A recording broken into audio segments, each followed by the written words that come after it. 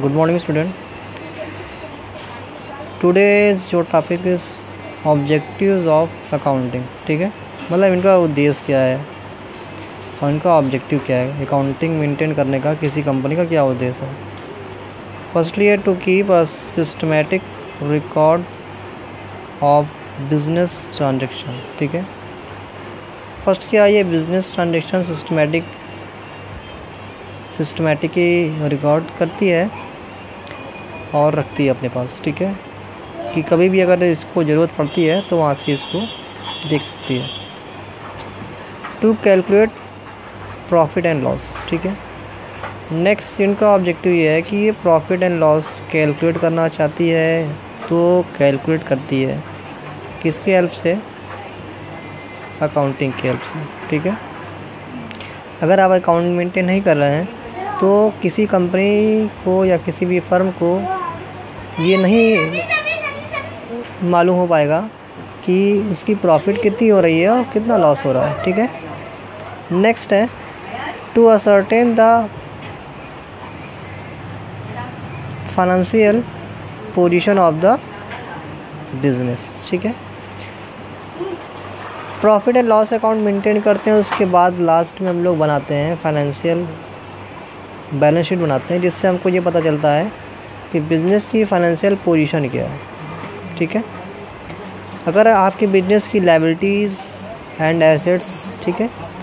Liabilities अगर आपकी कम है, आपकी एसेट ज़्यादा है मतलब कि अगर आपकी लाइबिलिटी कम है, आपके पास कैश ज़्यादा है तो आपके बिज़नेस की पोजीशन अच्छी है, ठीक है?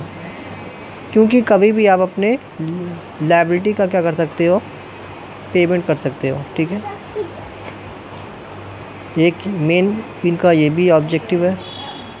नेक्स्ट है ascertain the progress of the business from year to year इससे ये भी पता चलता है बिज़नेस को कि वो ईयर टू ईयर में कितना प्रोग्रेस कर रही है। ठीक है? किस चीज़ से? अकाउंटिंग से। ठीक है? अकाउंटिंग मेंटेन कर रही है कोई भी फर्म कोई भी बिज़नेस तो उसको ये एक्चुअली पता हो जाएगा कि किस ईयर में कितना प्रॉफिट हुआ, किस ईयर में कितना प्रॉफिट हुआ, कितना लॉस हुआ, ये सारी इन्फॉर्मेशन इस चीज़ें से मिल सकती है। नेक्स्ट है provide information to various parties business है, क्योंकि लॉन्ग बिज़नेस है, बड़ा बिज़नेस है, ठीक है? तो उसमें आपके क्रेडिटर होते हैं डेटर्स होते हैं इन्वेस्टर होते हैं ओनर होते हैं तो अगर कोई भी इंफॉर्मेशन है इस टाइप की, कि हम ये इन्फॉर्मेशन उनको प्रोवाइड करें, ठीक है? तो हम उन ओनर इन्वेस्टर को क्रेडिटर को डेटर्स को, वो सारी इन्फॉर्मेशन हम क्या कर सकते हैं? दे सकते हैं, ठीक है? तो ये सारे क्या थी? आपकी अकाउंटिंग की ऑब्जेक्टिव्स था, जो वेरी इम्पोर्टेंट था। जो आज हमने आपको बताया, ठीक है?